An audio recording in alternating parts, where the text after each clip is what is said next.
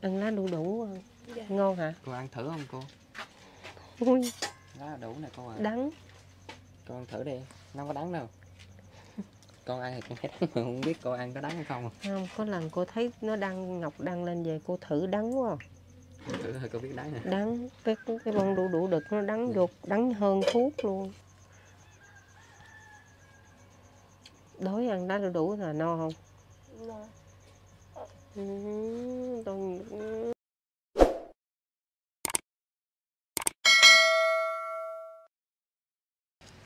Sơn Ngọc xin mến chào cả nhà thân thương. Dạ thưa cả nhà, hôm nay là Sơn Ngọc à, lại tiếp tục dẫn cô Phương Dung ở nước ngoài à, ờ, đến thăm à, à, một à, em gái hiện tại đang à, mang bầu nhưng mà không có tiền để mà à, đi à, bệnh viện khám và cũng à, chưa một lần đi đến bệnh viện để mà siêu âm. Thì à, hoàn cảnh của em gái này rất là khó khăn cả nhà mình ạ. Thì à, phía trước màn ảnh nhỏ cả nhà mình đây á, là cô Phương Dung. Cô Phương Dung ơi, cô chào cả nhà mình đi cô. Cô có hỏi gì à, bé không? Ừ, hỏi nãy nó không biết chuyện nào xanh Biết chừng nào xanh nè. Thì đâu có đi đến bệnh viện đâu cô, đâu có tiền đâu. chuyện nào xanh em bé ra thì cô đem sữa với lại bột về cho em bé Dạ. Tại vì bây giờ con chưa xanh cô không biết. Rồi con có mua mấy thùng sữa cho con uống là mang mang bầu mà ăn lá đu đủ không à hả? Dạ. không không có không có ăn gì hết hả? Xanh em này đi rồi đợi em lớn nhưng không có xanh thì đợi em bé lớn chứ không phải xanh chứ con cứ mang bầu về con khổ lắm.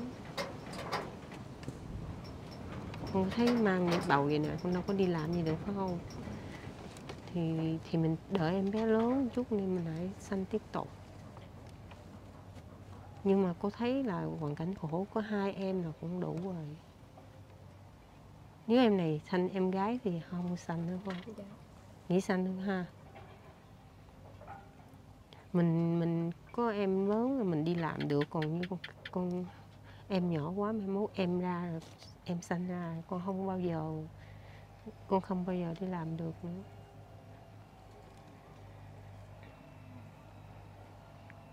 chừng nó đâu biết giờ nào sanh đâu Dạ. Rồi quần áo em bé thì sao? Bọn em bây chưa mua tiền mua gạo nữa. Dạ, bây giờ chưa có quần áo em bé luôn dạ hả chưa cô. để cô về Sài Gòn cô gửi ra cho Sơn Ngọc cô gửi ra xe đem để mai cô về tới thành phố thì con mua cô gửi ra Dạ, quần áo nhỏ nhỏ mới xanh đó hả dạ, cô nói con con còn trẻ con nhất định phải xanh nhưng mà con đừng có xanh ma quá. Con để cho em lớn một chút con xanh như vậy tội mấy đứa bé lắm. Phải không? Hiểu mấy người lớn không sao mà bé rất là tội. Nếu con không có ăn thì bé sẽ không có gì ăn hết. Con nhìn đi con con ăn lá đu đủ không thì làm sao con có cái chất để mà cho bé? Phải không? Dạ. Đây cô có mua một ít cá khô, rồi 10 kg gạo và hai thùng sữa và một lóc cá lon. Chỉ ăn cá khô thôi hả? Không ăn cá lon bao giờ hả? ừ, con nấu cơm Chắc xong có đó lẽ là cô phải hướng dẫn rồi cô ơi. con nấu cơm xong ha cái con để vô cái chén á cái con để vô chén cơm luôn trong cái nồi cơm ha cơm gần chín á cái con để vô con đậy nắp lại thì nó cũng chín theo à dễ luôn cái này không có cần nấu gì hết con phải quạt bát lên một chút. Con đừng có e ngại tại vì Dạ. cô đã tới đây là cô giúp con rồi con con đừng có ngại. Không có ai làm gì con đâu. Cô cô vô thấy mấy người đồng bào thấy thấy người ta tới thấy là làm như là họ rất là ngại vậy đó. Nhưng mà thực là mấy cô tới đây là chỉ giúp đỡ thôi chứ không có cái gì hết. Dạ. con đừng có ngại. Phải không? Cô cô ở rất là xa luôn mà cô vô tới đây làm chi? Là để tại vì cô thấy video của ngọc nó đăng lên. Cho nên con về cô giúp những cái hoàn cảnh mà à, có em bé nhỏ ừ, người già. Rồi như cái tuổi trẻ thì cô không có giúp tại vì còn có sức lao động. Còn mấy đứa như em bé này như con bây giờ con cũng không thể nào lao động được tại vì con đang mang bầu mà. Cho nên cô nghĩ là cô nên cần giúp đỡ con cô đã về tới rồi. Còn những những e những cô những đứa bé mà đang đang còn nhỏ tháng mấy tháng đó thì cô thấy rất là tội như bây giờ con thì cũng đâu đi làm gì được đúng không mà con ăn lá đu đủ hoài thì cô thấy là không bao giờ em bé sẽ không có có chất đó, dinh dưỡng đó Em ờ, tên gì anh quên mất tiêu rồi. Út. À đúng rồi, em Út có 19 tuổi thôi cô Hương Dung. Lá- nhỏ hơn Nhỏ con bé hôm qua hôm kia Dạ hai đúng rồi. tuổi. Nhỏ hơn con một tuổi, con năm nay 20 thì ờ, con, 21 mẹ nói 21 Ngọc 21 con 20 con 203 à, năm nay 2023. ủa vậy hả? Còn Dạ. nhỏ quá vậy Rồi ờ, 19 tuổi có hai đứa con là hồi đó giờ là không có đi học luôn cô. Tại vì bữa chắc cô xem video con thì cô cũng cũng đã biết và hiểu rõ hơn một chút rồi thì con cũng sẽ chia sẻ rõ hơn lại cho ông bà anh chị à, mới vừa xem video này. À, lúc trước thì bé út này này cả nhà còn à, nhỏ quá, rồi ở với mẹ ở dưới làng. Hồi lúc trước là nhỏ ở dưới làng, xong rồi mẹ thì cũng một phần là bị thần kinh, rồi nhậu rượu, rồi bị người ta lừa bán hết đất, rồi lên trên núi ở. Đến bây giờ luôn là không được đến trường, cho nên là không biết cái chữ gì hết. Tiền á cô ít á thì biết còn tiền lớn Vậy thì hả? không biết dạ. Tiền nhỏ thì biết tiền lớn không biết.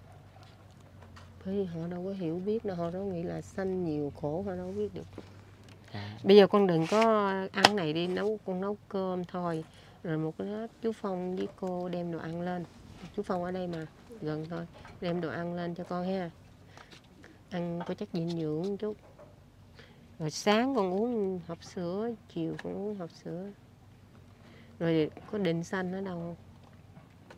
Định xanh em bé ở đâu? Con không biết nữa. Con không biết đi bệnh viện nào luôn hả? Tại vì không có tiền cho nên là cũng ngại đến bệnh viện á cô. Bây giờ mình không hiểu là tháng mấy nó sanh Nên là bao lâu mình mới mình mới sắp xếp được không? Nhưng mình mình biết tháng 9 hay là hoặc tháng 3, tháng 2 này chứ. Con cũng không biết bây giờ mấy tháng hả dạ không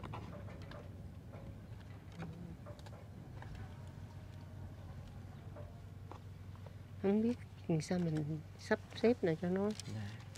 nhiều lúc ờ, đau bụng ờ, sắp sanh ban ngày thì không nói chứ còn ban, ban, đêm, đêm, á, trong này là mình khổ ô là khổ nữa. ban đêm là không biết là kêu cứu ai luôn á. Cô về thấy mấy hoàn cảnh này cô buồn lắm. như nhỏ hôm qua đau dạ dày á Ngọc nằm chữa trận nữa. Chứ không biết làm gì hết. Khổ ôi tại vì à, họ có cái bảo hiểm nhưng mà họ không có tiền để đi để đi tới xe đưa đi xe với lại ăn uống nữa. Thôi kệ mình giúp được người nào mình giúp. Chứ bây giờ nó, cô cũng đau dạ dày mà. Cô hiểu được cái cảnh không ngủ đêm bằng đêm không ngủ được. Nhiều nhiều hoàn cảnh quá là khổ. Thôi giờ con ra nấu cơm đi. Rồi cô đem đồ ăn xuống nha. Dạ. Bây giờ con lấy nước ở đâu xài? Hả? Ở đó có suối hả? Dạ con- dẫn cô ra coi cái bụng này chắc cũng chắc Thấy- cũng sắp sanh luôn rồi cô. To lắm rồi. Cũng cũng cũng bảy tám tháng vậy ha.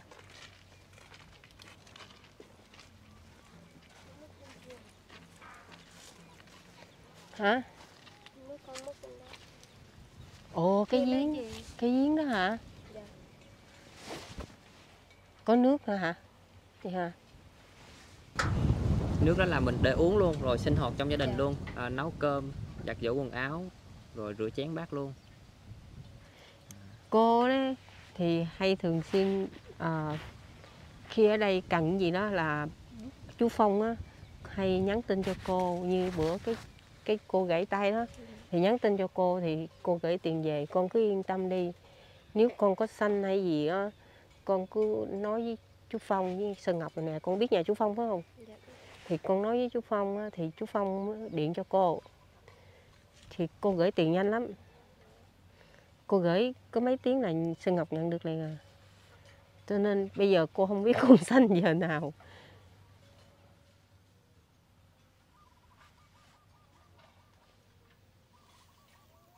Ban đêm đây lạnh không?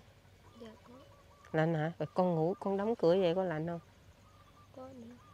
Con lạnh. Do quá. gió quá lạnh hả đứng lâu quá mệt cả nhà mình nó Thôi vô chắc ăn cơm chắc đi em. gần xanh hơi nấu cơm đi đừng nó con em đồ ăn xuống Thôi ăn đại lấy lá đủ chấm muối ăn đại. thôi Bữa nay- đủ tính ra đu đủ ăn nó cũng tốt cho sức khỏe mà. bữa cô. nay ăn ngon bữa ôi vậy hả nó ở Dạ. hai căn nhà căn này căn này hả này nhà bếp cô lá đủ luộc ngoài kia à? Xong rồi. Lúc hôm nay ăn tức rượu chưa mềm chỉ được tiếp. À.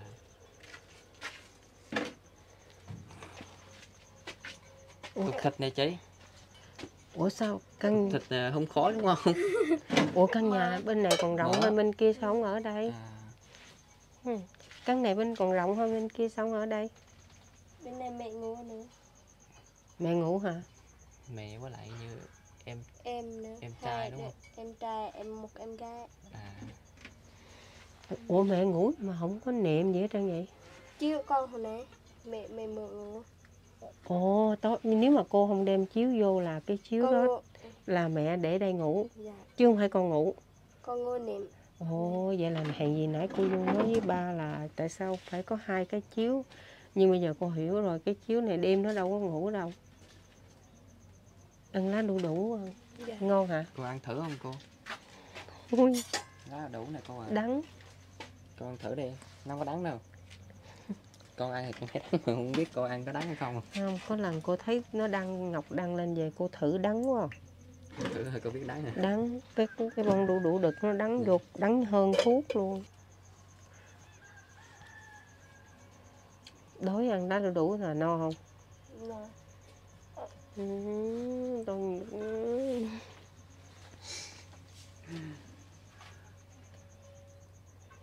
Ăn thử đi cô.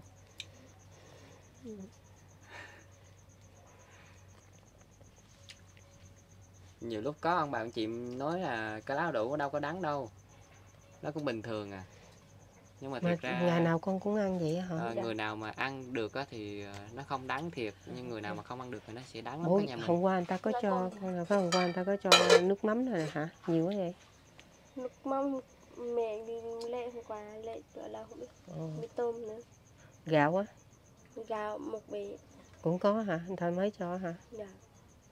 Cho mẹ hôm qua. cũng Mua. như mẹ mẹ con tối nay ngủ đây Dạ. Em nữa. ngọc nhìn coi xung quanh không có gì hết Dạ. em với mẹ đều ngủ đây Dạ. rồi có cái chiếu thôi hả Dạ. mình á Mình đeo bên kia luôn. Cuối mẹ đeo nhà con. Chỗ đây gà lên gà đeo nhà miếng. ừ.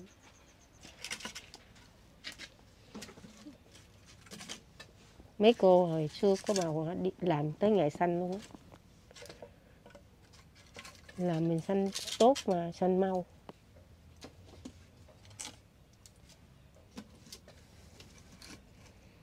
Cứ cứ mỗi ngày cứ múc lá đu đủ về ăn không ha.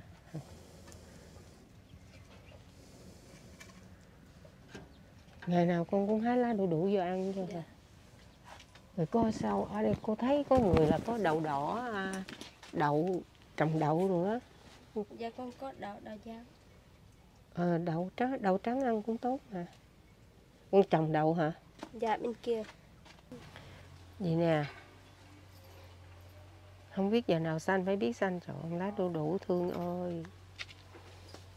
Mốt đợi bé lớn hay xanh nha con đừng xanh nữa nha. Khổ không? Ăn lá đu đủ khổ không? Khổ không? Khổ không. Thôi con đừng, đợi em lớn lên này trai gái gì cũng vậy, đợi em lớn lên chút hay xanh nha. Nha Mai mốt em sanh ra hả? Con nuôi em còn khổ ác nữa.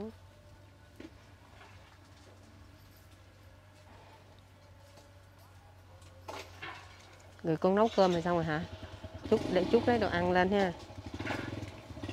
Nè, cô tặng con chút tiền đi nha con cắt tiền cảm ơn cô.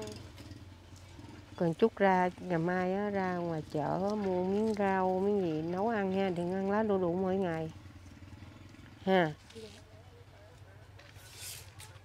Cô ơi, cô hỏi kỹ lại là em biết tiền không? Sợ em không biết cái số tiền đó của Con cô biết tiền không? Xài ờ, mua đồ á. không biết tiền sao xài Thì đấy, con nói cô rồi là cô tặng bé tiền tiền nhỏ mà mình chi- mình ái ra, mình đổi Không. ra. cô không có tiền nhỏ đây tiền lớn quá cô tặng bé bé không biết xài nhiều lúc xuống quán mua cái người ta à, lại thiếu à, thói thiếu á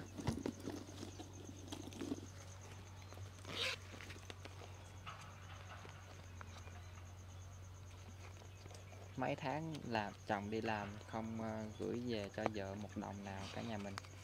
Gửi về cho em gái nè để mà lo cho con rồi đi à, bệnh viện à, khám tình hình sức khỏe con Đây. của mình trong bụng như thế nào. Mà cái cái vậy nè con biết không? Dạ biết. Biết hả? Cái này biết không? Không. Thấy chưa? Hai trăm nghìn còn còn chưa biết cô tặng cho đưa tờ 500 nghìn nè. Thì thì cái này dễ xài hơn cái này là 200 cái này là một một trăm. Ha. Dạ tặng con. Con cảm ơn cô nhiều. Cách xài từ từ tại vì cô thấy rau ngoài này nó bán rất là rẻ. Trên này là mua hai ba chục ngàn rau là mấy bữa nay cô có đi mua rau cô biết là không có mắc tiền. Dạ. con để dành con xài từ từ. Ha. Tại vì ra ra chỗ này mua rau không biết tiền luôn sao mà người ta thuê lại. À đúng rồi. Vậy em mốt cô về tới cô thăm nữa ha. Rồi con đi hái lá đu đủ ngoài này về nấu ăn hả hả? Mỗi ngày hả? Dạ. Có đắng không? Dạ có. Quen ăn rồi. Không đang nữa. Quen ăn rồi. Ăn quen rồi. Rồi thôi cô đi ha. Cô đi qua bên nhà kia ha. Dạ ha. Hẹn gặp lại ha. Ha. Rồi em biết số tiền đó để mình làm gì không? Số tiền đó cô tặng cho để làm gì không? Em mua đồ ăn mua đồ ăn hả? Mua đồ ăn thôi. Thì gạo có rồi.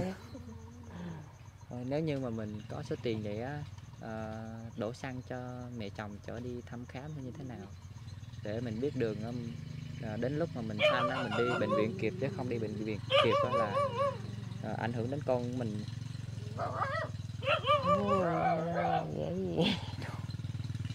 Dạ thôi mình dặn vậy thôi chứ còn mà cái chuyện làm hay không á thì ờ, bé làm.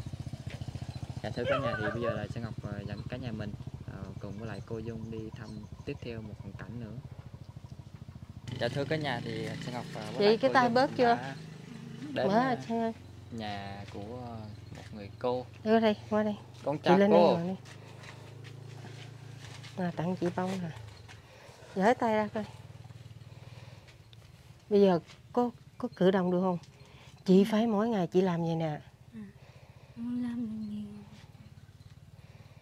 nhà lúc này được rồi ha. Không có được rồi ha. Ừ. có dột không? Không. tối ngủ không lạnh hả? Lạnh không Rồi con trai đâu rồi? Tay đi chơi đi. Tối ngủ hai mẹ con ngủ đây hả? À, hai con mình mua đây. Không có lạnh hả? Không lại nó bám bám rồi không lại nữa. Rồi điệu á hả à, sơn ngọc có vài câu gót đó kìa. Cái cho người ta cho hả? Rồi À. mang giày này đi đâu? Mang giày đi xuống Phan Rang disco hả? Hả? Mang giày cao gót xuống Phan Rang disco hả? Biết disco là gì không? người ăn cơm rồi à? Chiều á.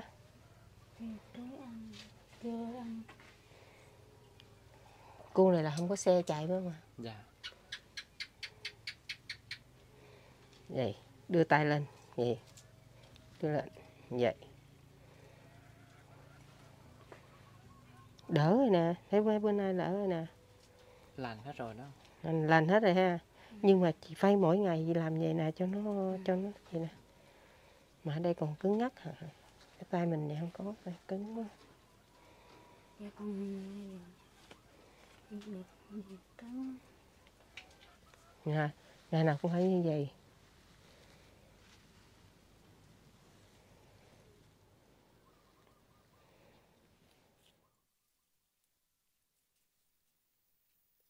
Chị chị tối á chị làm gì nè? Nè dạ bóp bóp lên cho nó mềm trở lại á Ô, cái cọc mấy cọc gì vậy cô? Biết Xương hả? cục xương. Ở bữa thấy nó cái áo như này xương xương à? xương á. chắc đập sắt nó bị, ờ, bị lòi ra. Dạ thưa cả nhà cô này á, thì ờ, ông bạn chị ờ, xem trên kênh của Sơn Ngọc lâu rồi á, thì cũng không còn xa lạ gì nữa. Ờ, hoàn cảnh của cô rất là khó khăn cả nhà. Ờ, nghèo khó quá chồng bỏ Ờ, sống với lại ờ, con trai à, chút xíu xíu thôi còn đang đi học. Ồ, nghỉ học rồi mà đúng không cô? Nghỉ học rồi. Rồi hôm bữa là đi lên trên núi chặt cây để mà về làm nhà ở. Ờ, không may thì bị té rồi bị gãy tay nè mấy khúc dạy, luôn. dạy chị thấy là chị làm vậy nè. Cho nên là khó khăn thì càng thêm khó khăn ở cả nhà mình. Làm vậy nè là cái đợt đó là cô Phương Dung gửi tiền về để mà là cho cô này ờ, trị cánh tay đúng không cô? Chị cứ để cho nó giờ hết. Là hết nó hết được hả? Không được hả? Vậy nè vậy. Cứng rồi chị, chị phải làm gì nè. Làm mỗi ngày. Nó từ từ. Cứ mình cứ để nó vậy riết rồi nó cứng luôn. Mình cứ vậy nè. Thấy được mà cũng mềm mà đâu cứng như mấy nè vậy ha cứ vậy nè. Mỗi ngày cứ vậy đi. Nè cái tay này được mà. Nè cái này là hơi cứng nè. Cái này được nè. Đau không? Không hả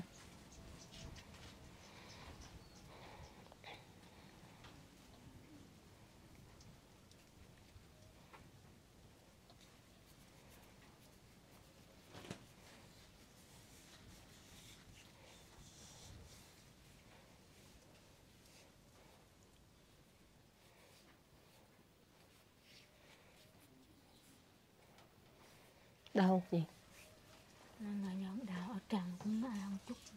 Thì nó đau chị có cảm giác đau á là chị mới bớt tại vì chị nếu mà chị không đau là coi như là nó không có cảm giác á.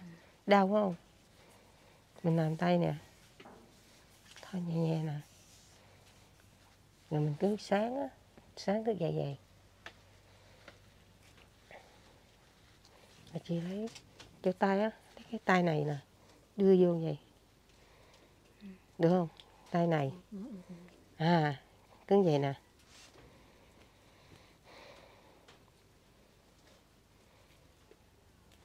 Đau, đau. chứ đừng có để cho nó cong vậy riết phải làm vậy nè. Vậy. Tay này nấu sau nè. Này cũng đâu có gì đâu. Chỉ có cái ngón này thôi. À ngón này với này là chị phải ráng vậy lên xuống vận động vận động nó vậy nè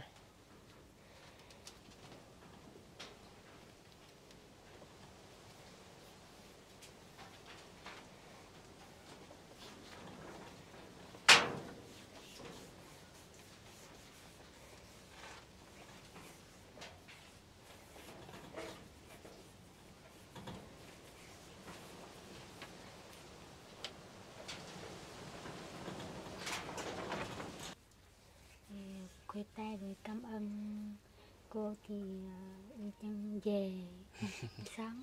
Nè cô này nè. Cảm ơn cô. Không biết nãy ai giờ, nãy giờ cũng chưa nhận ra. Không biết. Không biết hả? Cô này giúp đỡ cho cô này. Không sao không sao. Về mấy lần rồi mà có chuyến trước có cho tôi vô đây đem dê mà quên à. Dê rồi đó. Dê đâu? Dê còn sống không? Là sáng à. Có À, có con chưa? một con con mẹ nó là chết ờ, lúc đang đang nằm bệnh viện. Để ở trong rừng đưa về chị chị cục dùng à, lúc cục nó nó con hai con nó chết rồi hai con nó để ở trong rừng luôn. Còn có một con nó đang mặn bỏ chứ để. À, đang nằm bệnh viện đó và chị nuôi ờ, chăm sóc ở nhà đó buồn Về ghê. chết hai con chết hai con con một mình mẹ con. Con hai con kia uh, mặn bỏ chứ để rồi buồn ghê người ta tặng vậy mà không nhớ gì. Buồn 5 phút.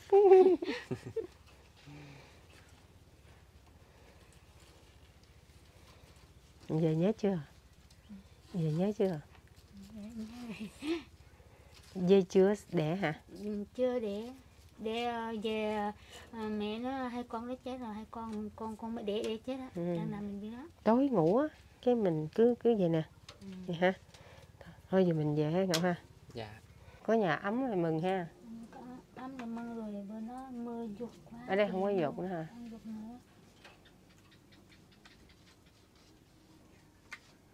Tụi em về nha.